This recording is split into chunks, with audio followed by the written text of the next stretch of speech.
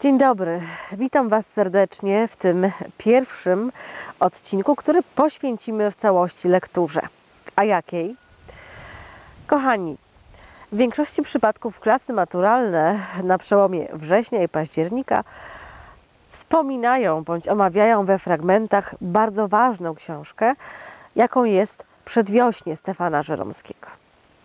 Ona jest ważna z kilku powodów, o których dzisiaj opowiem w tym odcinku. Wspomnę o tym, że obecnie w obecnym programie nauczania przewidziane są fragmenty tej lektury, ale wyobraźcie sobie, że wasi koledzy, którzy będą uczyć się według nowych y, programów już za dwa lata, będą omawiać przedwiośnie w całości. I jest to wybór słuszny. Chociaż, proszę Państwa, z pewnością e, można powiedzieć, że Przedwiośnie jest książką kontrowersyjną. I w czasach, kiedy moi rodzice chodzili jeszcze do szkoły, uchodziła za książkę wręcz propagandową. Ale oczywiście wszystko zależy od interpretacji przedstawionych w niej zdarzeń, bowiem samemu Żeromskiemu z pewnością nie chodziło o to, żeby siać jakąkolwiek propagandę, ale o to, żeby przede wszystkim pokazać zagrożenia oraz możliwości drogi do wyboru, którymi może zmierzać nasz kraj po zakończeniu I wojny światowej, po bardzo trudnej wojnie, wojnie z bolszewikami, którą udało się nam wygrać, no i oczywiście po 123 latach niewoli, bo przecież odzyskaliśmy niepodległość po tak długim czasie bycia pod zaborami. Pewnie teraz, siedząc przed monitorami bądź oglądając mnie za pośrednictwem innego rodzaju sprzętu, zastanawiacie się, dlaczego ta kobieta w pierwszej scenie stała na tle pobielanej chaty i dlaczego cały czas trzyma w ręku kostur. Jestem przywiązana do pewnej symboliki. To dlatego, moi drodzy, czasami w moich odcinkach staram się w jakiś sposób oddać nastrój książek, o których opowiadam. Oczywiście w granicach moich możliwości. Ta pobielana chata, przed którą stałam w poprzedniej scenie, jest rzeczywiście takim miejscem, takim budynkiem zabytkowym. Tak bowiem wyglądało budownictwo mniej więcej w, w okolicach tych takich polskich regionów poza, poza wielkimi miastami. Tak mniej więcej wyglądały chaty, w których mieszkali ludzie i być może w jakiś sposób podobne chaty, chociaż w znacznie gorszym stanie, Cezary Baryka, czyli nasz główny bohater, zastał po przekroczeniu polskiej granicy. Ale o tym za chwilę. Natomiast dlaczego kostur? Kostur kojarzy się już od e, wielu wieków w jakiś sposób z wędrowcem. I pamiętajcie o tym, że nasz bohater, czyli Cezary Baryka, jest przede wszystkim wędrowcem. Ale chodzi też o to, że my poznajemy bohatera w bardzo młodym wieku i tak naprawdę Przedwiośnie jest powieścią nie tylko polityczną, nie tylko o tych aspektach politycznych, o jakich wspomniałam na początku, ale przede wszystkim ma ona taki rys psychologiczny, ponieważ jest powieścią o dojrzewaniu, bo towarzyszymy naszemu bohaterowi tak naprawdę przez 7 lat jego życia. Przede wszystkim jednak, może zacznijmy od samego początku, bo ja tutaj zdradzam pewne wątki, ale e, wiem, że wielu moich uczniów lubi, żeby to wszystko było uporządkowane od początku do końca. Przede wszystkim, e, proszę Państwa, e, naszego głównego bohatera poznajemy tak naprawdę, kiedy jest on niesfornym, dorastającym chłopcem. Dowiadujemy się, że jego ojciec, carski urzędnik, wyjechał poza granice Polski, aby robić tak zwaną karierę. Gdzie? No mianowicie proszę sobie poszukać na mapie takiego kraju jak Azerbejdżan i takiego miasta jak Baku. Jest to oczywiście e, do dzisiaj okolica słynąca z wydobycia ropy naftowej i też w czasach, o których mówimy, e, to rzeczywiście z tego tak naprawdę ten przemysł tamtejszy utrzymywał się, funkcjonował. Tam można było zrobić rzeczywiście karierę w tym biznesie związanym właśnie z wydobyciem ropy naftowej. Rodzinie Baryków powodziło się naprawdę bardzo, bardzo dobrze. Oni mieli piękny dom, mieli służbę. Natomiast ich jedyny syn, y, Czaruś, y, był dzieckiem rozpieszczonym, rozkapryszonym. No i tak naprawdę prawdziwy dramat jego mamy rozpoczął się w momencie, kiedy wybuchła I wojna światowa. Ojciec, całkowicie oczywiście zależny od carskiej władzy, został powołany do armii i opuścił rodzinę.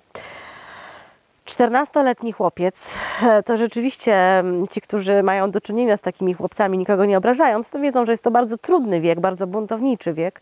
I ten 14-letni chłopiec swojej bardzo łagodnej, kochającej, e, cudownej, ciepłej matce rzeczywiście nie dawał chwili spokoju ani chwili odpoczynku. Tym bardziej, że przyszło im żyć w czasach, które były naznaczone różnego rodzaju dramatami historii. Oprócz pierwszej wojny, niebawem przecież do Baku zawitała rewolucja. Wiecie, w którym roku wybuchła rewolucja? No właśnie, młody Cezary był zafascynowany poglądami rewolucjonistów. Często wbrew woli matki uciekał z domu na te zebrania. Często wbrew woli matki wykonywał różnego rodzaju działania i czynności, które z pewnością nie należały do tego, do tego zakresu działań, jakie powinno wykonywać grzeczne dziecko. Miał liczne problemy, w tym przede wszystkim problemy o charakterze wychowawczym. No tak jak mówię, brak ojca, brak twardej ręki i łagodność matki e, niestety nie wpływały na tego młodego buntownika korzystnie. Tutaj może parę słów o miłości. E, ja chciałabym zaznaczyć pewien bardzo ważny aspekt Mówię o tym, że łagodna i kochająca matka nie miała siły przeciwstawić się buńczucznemu młodzieńcowi. Nawet jeżeli o coś go prosiła, na przykład, nie wiem, żeby nie przetrzymywał broni w domu, e, żeby nie spotykał się z komunistami, bo to źli ludzie i tak dalej, i tak dalej, z rewolucjonistami, aby nie przebywał, no to oczywiście posłuch był, jak się domyślacie, żaden ale kochające serce matki, jej dobra wola, jej po prostu chęć niesienia pomocy ludziom potrzebującym i przy tym wielka odwaga, proszę Państwa, nie zostały jakby bez wpływu na młodego człowieka, bo chociaż w tym wieku, te 17-18 lat, on naprawdę dał się matce we znaki i zaszedł jej za skórę, to niebawem, jeżeli będziecie czytać całe przedwiośnie, e, zorientujecie się, że to, co będzie robił Cezary już jako e, pełnoletni, dorosły mężczyzna, jego poszukiwanie drogi życiowej, jego stawanie w obronie tych najbardziej potrzebujących, najuboższych ludzi, to będzie tak naprawdę odzwierciedlenie dobra, które przeżył, którego doświadczył ze strony swojej wspaniałej matki. Przedwiośnie jest powieścią o dojrzewaniu i to dojrzewaniu w czasach wyjątkowo trudnych. Bowiem, tak jak już powiedziałam w poprzednich scenach, Cezary Baryka i jego matka Jadwiga zostali sami. Ojciec został powołany do wojska w czasie I wojny światowej. Wkrótce do Baku w Azerbejdżanie, w którym przebywali, a Cezary od dziecka, zawitała rewolucja wraz ze wszystkimi swoimi ciemnymi stronami, ze wszystkimi swoimi potwornymi, katastrofalnymi konsekwencjami. Z początku Cezary Baryka jest zafascynowany hasłami rewolucjonistów, zgadza się z nimi. Jak każdy młody człowiek przejawia chęć do tego, aby się buntować przeciwko zastanym zasadom. Nie rozumie tego, co mówi mu matka, kiedy tłumaczy mu, dlaczego rewolucja jest złem. I wkrótce e, okazuje się, że ich sielskie życie, ich wspaniałe życie, ich wygodne życie odchodzi w zapomnienie.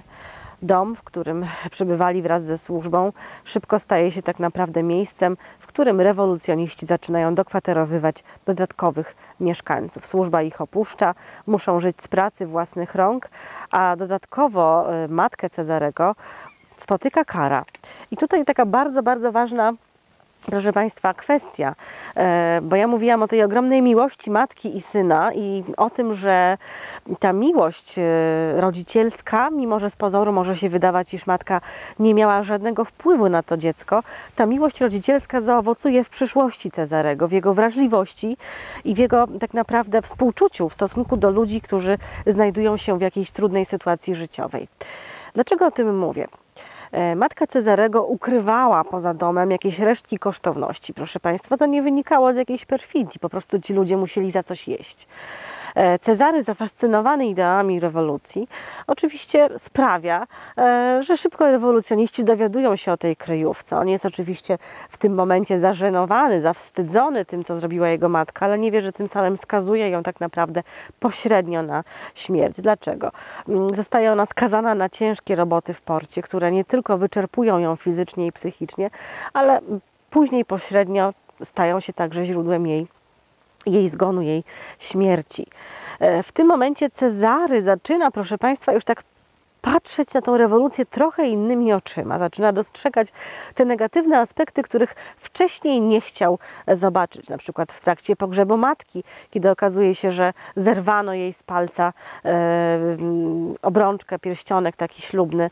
E, jest to dla niego szokujące, jak można martwej osobie zabrać taką, e, taką rzecz prywatną, bardzo intymną, e, jak można po prostu, że tak powiem, żerować na trupie, przepraszam tutaj za sformułowanie. Jest jeszcze jedna scena w przedwiośniu, którą chciałabym, żebyście zapamiętali. Matka Cezarego w tym porcie, będąc, udziela pomocy, ryzykując własne życie księżnej Szczerbatow Mamajew i jej córkom. Nie wiem, czy rozumiecie, dlaczego księżna i jej córki musiały, yy, przedostały się do tego portu, musiały udawać zwykłe śmiertelniczki, zwykłych ludzi. Dlaczego? Dlatego, proszę Państwa, że rewolucjoniści w czasie rewolucji październikowej uważali, że pierwszym podstawowym obowiązkiem, poza zamordowaniem carskiej rodziny, jest równie krwawe rozprawienie się ze wszystkimi arystokratami. Nie będę Wam zdradzała szczegółów, jak się kończy ta historia, bo chciałabym, żebyście przeczytali jednak przedwiośnie, ale chciałabym, żebyście również zapamiętali ten podstawowy aspekt.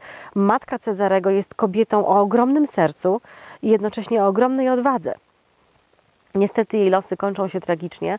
Śmierć matki e, dociera do niego powolutku, ale to jeszcze nie znaczy, że Cezary jest rzecz jasna e, przekonany, że rewolucja w całości to jest zło.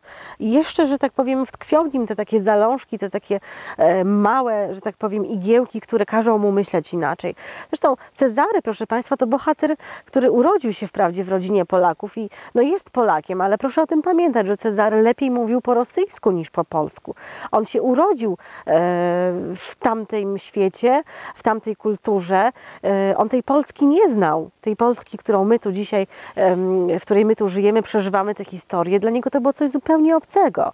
Fakt, że w domu był jeszcze taki drogocenny przedmiot, pamiętnik dziadka Kaliksta, e, którego ojciec chciał strzec jak oka w głowie, bo to taki po prostu ważny, symboliczny przedmiot, który w jakiś sposób świadczył o tej więzi z Polską. E, no ale dla Cezarego, tego młodego chłopca, to z początku jeszcze wcale nie było takie ważne dziełko. I proszę Państwa, co spotyka Cezarego po śmierci matki? No tutaj myślę, że e, będziecie wiedzieć, czytając lekturę, że żyje w straszliwej nędzy. E, musi, między innymi, zostaje zagoniony do pracy, mianowicie musi niestety grzebać trupy. I tu też jest bardzo ważny moment. E, zbierając ulicy, bo tak naprawdę krew płynie ulicami. Rewolucja to jest, proszę Państwa, moment ogromnej rzezi. E, tutaj musiałabym się zagłębić w takie historyczno-socjologiczne, powiedzmy, powiązania, ponieważ w Baku mieszkają jakby dwie nacje, prawda? Azerzy i Ormianie. O rzezi Ormian możecie sobie poczytać. E, te warunki, że tak powiem, historyczne stworzyły na nowo wywołały te potwory z przeszłości i te takie e, powiedzmy mm, waśnie e, etniczne. I patrząc na trupa młodej Ormianki, której mina w momencie śmierci, ta, ta zastygła na twarzy, wyrażała bezgraniczny strach i przerażenie, Cezary sobie uświadamia, że tak naprawdę to jest cała twarz rewolucji. Że rewolucja e, to nie jest nic innego, jak tylko przelewanie niewinnej krwi, niewinnych ludzi, którzy tak naprawdę jednego dnia chodzą do pracy, do szkoły, rozmawiają, a następnego dnia są mordowani tylko dlatego, że przyszło im się urodzić e, w rodzinie o określonych korzeniach, że przyszło im wierzyć w określone e, zasady, że urodzili się nie tam, gdzie powinni. Nie ma w tym żadnej winy e, tych ludzi. Jest taki pierwszy moment, kiedy Cezary widzi, że rewolucja to jest tylko rzeka krwi. I ten obraz w nim zostanie. Bowiem w trakcie tej swojej pracy Cezary spotyka nikogo innego jak swojego ojca. Oczywiście z początku trudno jest poznać e, starego barykę. Wojna, choroba wycieńczyły go, ale jest to istotny moment w powieści. Ojciec zaczyna namawiać syna do powrotu do Polski. Proszę pamiętać, że to są lata, kiedy ten powrót do Polski po tej pierwszej wojnie z terenu kształtującego się już Związku Radzieckiego, z terenu objętego tak naprawdę Rosji, objętej rewolucją wiek kształtującego się Związku Radzieckiego, bo nie chcę, żeby ktoś mi zarzucił, że ja mówię o Związku Radzieckim zanim on formalnie powstał, no ale przyjmijmy, że takie było dążenia rewolucjonistów. I z tego terytorium objętego tym zamętem politycznym, proszę Państwa, jest bardzo ciężko się wydostać. To nie jest podróż tak jak dla nas, że wsiadamy w pociąg, w samolot i powiedzmy w ciągu tych kilkunastu godzin najdłużej jesteśmy na miejscu. To jest podróż wielotygodniowa. Na te pociągi trzeba za przeproszeniem polować. E, trzeba się bić z tymi różnymi wracającymi do kraju Polakami czy innymi podróżującymi o miejsce.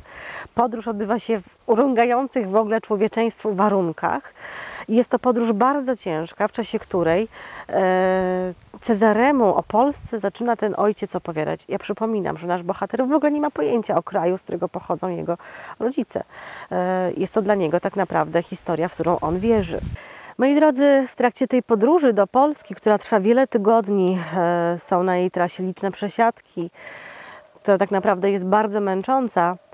Schorowany i wyczerpany ojciec Cezarego, mm, e, Seweryn, opowiada mu o tak zwanym micie szklanych domów. Tylko my to nazywamy tak odgórnie mit szklanych domów. Bo w momencie, kiedy oczywiście ojciec opowiada o tym synowi, to yy, mówi to z takim przekonaniem, że syn rzeczywiście oczekuje, że czegoś takiego yy, może się spodziewać po przekroczeniu polskiej granicy. Niestety w trakcie podróży Seweryn Baryka umiera.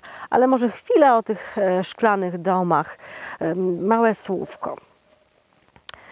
Ja, proszę Państwa, jeszcze podsumowując e, całość tej lektury, nawiążę do tego, ale chciałabym, żebyście wiedzieli, że Przedwiośnie jest powieścią polityczną, która pokazuje trzy drogi e, rozwoju, potencjalnego rozwoju naszego kraju po odzyskaniu tej niepodległości. Tu mam na myśli nie tylko po I wojnie, ale w ogóle po tych 123 latach niewoli, e, kiedy byliśmy pod zaborami. Szklane domy noszą nazwę utopii. Słyszeliście pewnie o utopii. Co to jest utopia?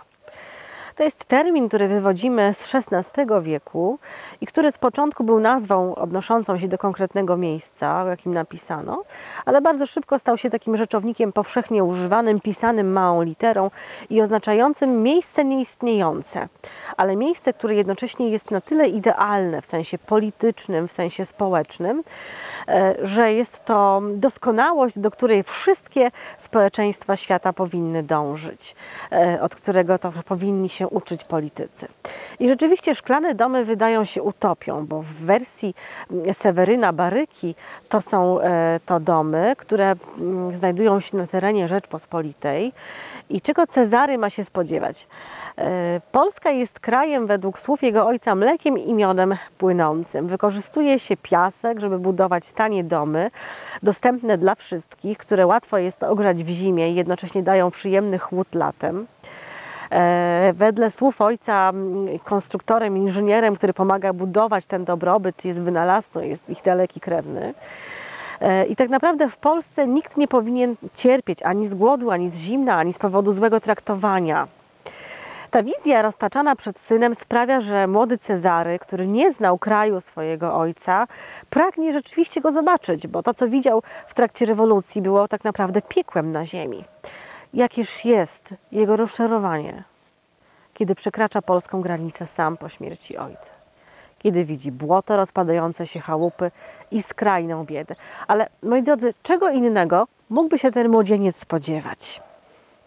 Proszę sobie wyobrazić, że poza zniszczeniami wojennymi musimy wziąć pod uwagę to, że Polska odradzała się, starała się być jednym organizmem złożonym z trzech różnych terytoriów bo mieliśmy trzech różnych zaborców. W każdym była inna e, polityka, w każdym był inny system policyjny, e, edukacyjny, inne jednostki miar, wag, wszystkiego, inne jednostki monetarne i oczywiście inny stopień rozwoju.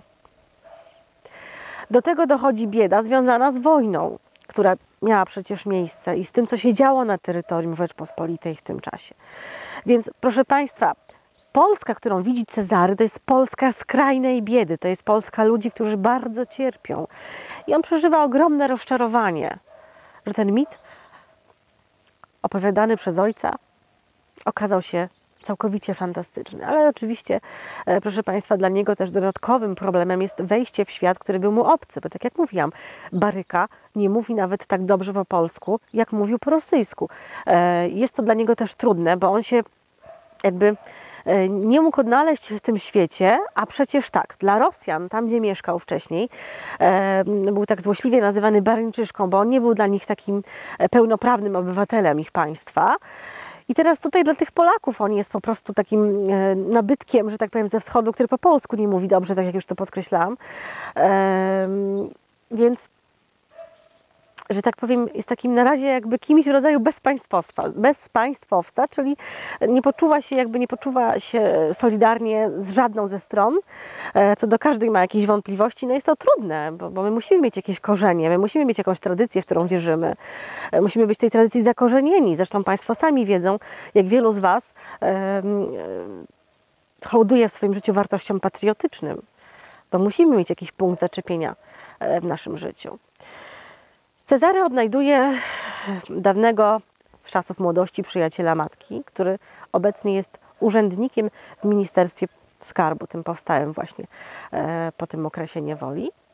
Czyli spotyka się z Szymonem Gajowcem. Nie wie jeszcze, że nie zdaje sobie do końca sprawy, że Gajowiec był taką e, bardzo mm, wytęsknioną sympatią matki, którą zostawiła wychodząc za, za jego ojca i wyjeżdżając, opuszczając Polskę, do której to była bardzo przywiązana.